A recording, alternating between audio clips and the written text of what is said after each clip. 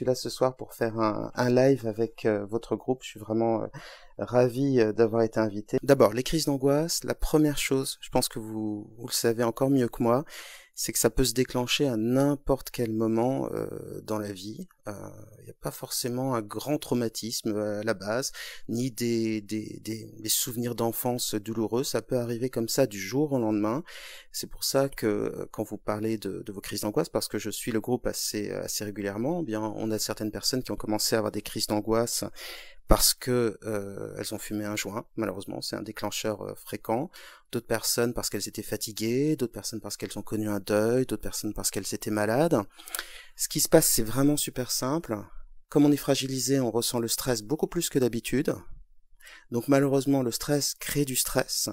Le système parasympathique, le frein stress, se dérègle. Donc plus on lutte contre la crise d'angoisse, plus elle augmente.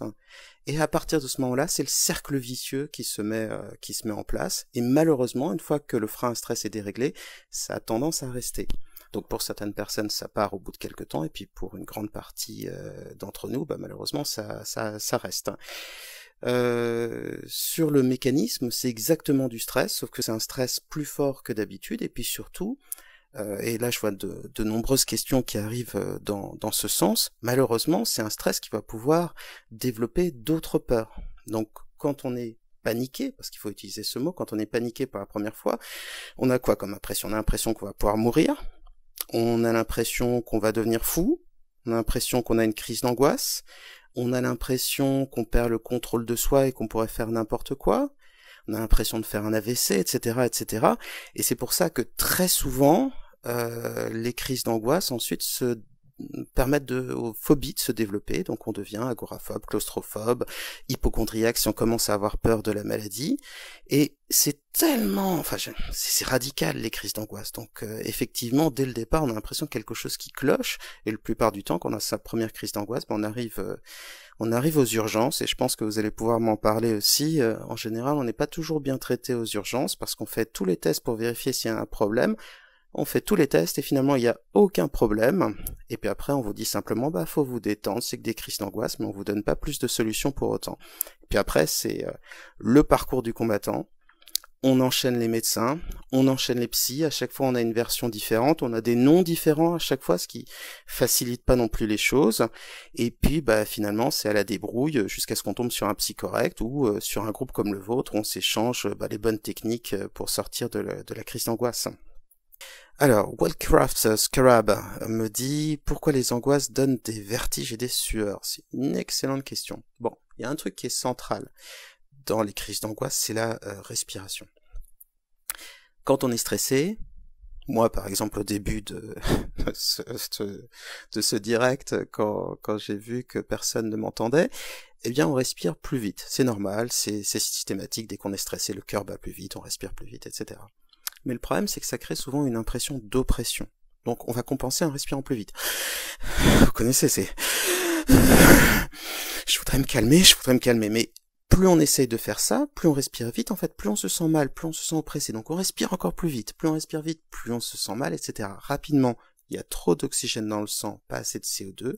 C'est ce qu'on appelle l'hyperventilation, et ça va créer tous les symptômes de pic de stress. Tous les symptômes, tous les symptômes de crise d'angoisse, en fait, sont liés à cette hyperventilation. Et c'est pour ça que c'est vraiment quelque chose de clé que d'apprendre à respirer lentement. Enfin, il y a bien d'autres choses qu'on peut faire avec la respiration, mais déjà la base, c'est de respirer lentement, parce qu'en respirant lentement, on évite le pire, on évite la crise. Et puis surtout, en, respirant lentement, le CO2 dans le sang augmente à nouveau, l'oxygène diminue, donc finalement quand on fait de la respiration, on s'oxygène pas on se dioxyde de carbonise, hein. c'est-à-dire qu'on augmente le CO2 dans, dans le sang, et c'est ce qui fait, ce qui permet d'éviter euh, la, crise d'angoisse.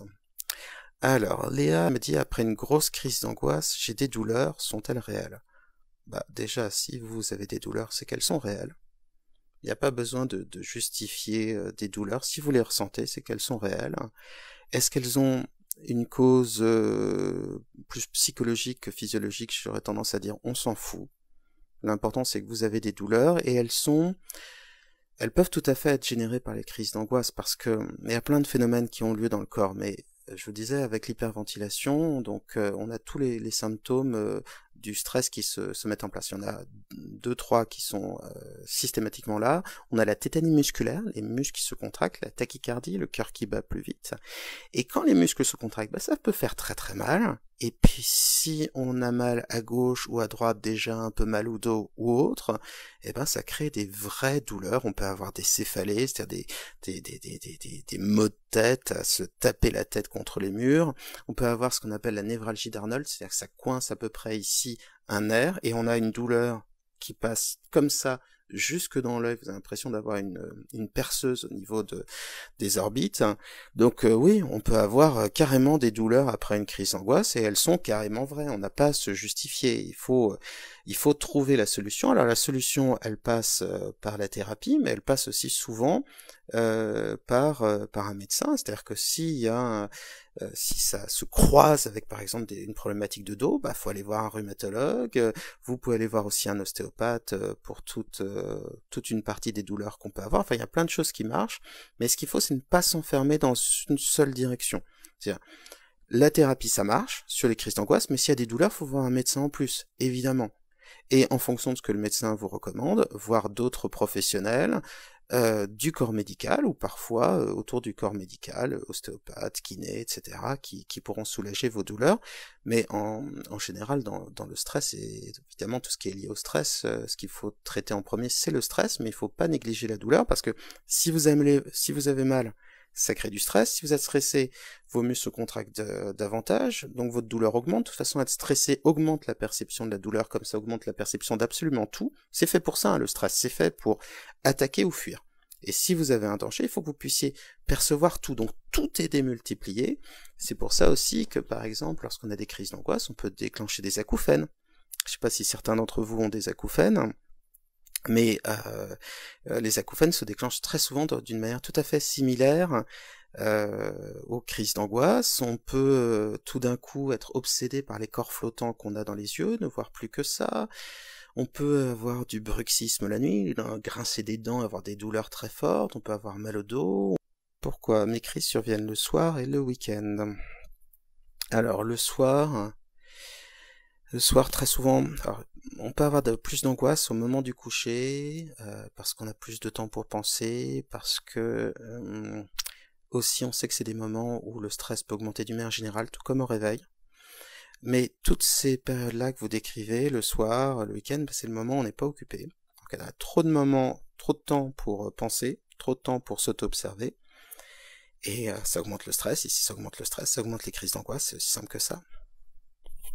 Alors, Aurélie, j'adore contracter très très très fort mes muscles et les relâcher, ça me détend.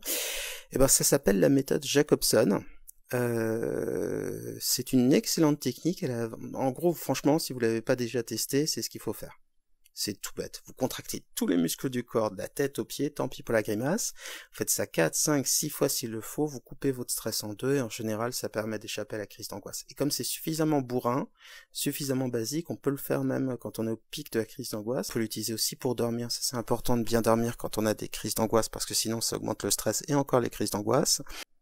Quand je commence une séance, mon cœur bat un peu plus vite, c'est normal. Une séance d'hypnose, une séance de relaxation. Euh, on peut avoir ça parce qu'en fait, plus on se force à être calme, plus on stresse. Donc vous avez parfois ce truc un peu bizarre, même quand on commence de la respiration, c'est qu'on commence d'abord à se sentir un peu plus stressé, et puis après, euh, euh, et après, au fur et à mesure, bah, la relaxation l'emporte et on se sent mieux. Erika me marque, peut-on parler de l'affrontement pour guérir des crises assez efficaces? Je parle car pour moi, ça m'a beaucoup aidé.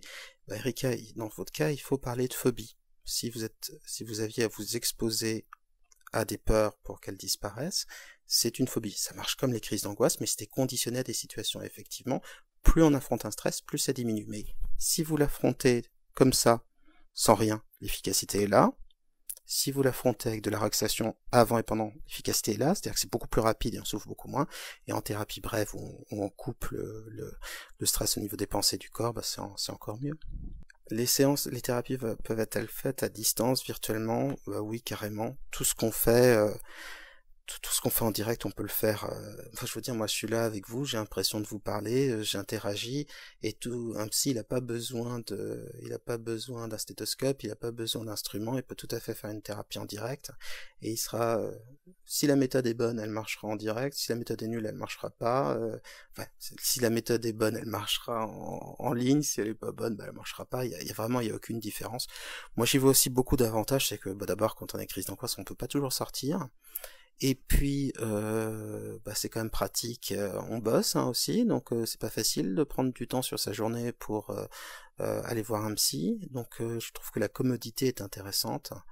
Et sinon, on fait exactement le même travail. Et puis, aussi un truc qui est, qui est agréable, c'est quand on est chez soi, on est un peu moins angoissé, on se confie un peu plus facilement.